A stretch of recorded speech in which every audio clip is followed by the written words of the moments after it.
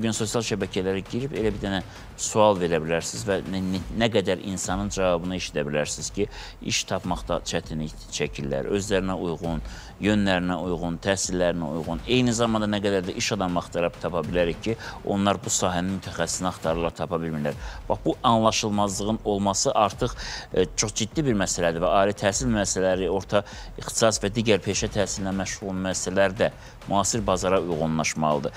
Əlbəttə yeni dövr və ümumiyyətlə yeni anlayış, hətta 3-cü nəsil universitet dönəmi başlayıbdır. Artıq universitetlər bəlli ixtisaslar buraxmırlar. Artıq universitetlər bazarı hesablayırlar.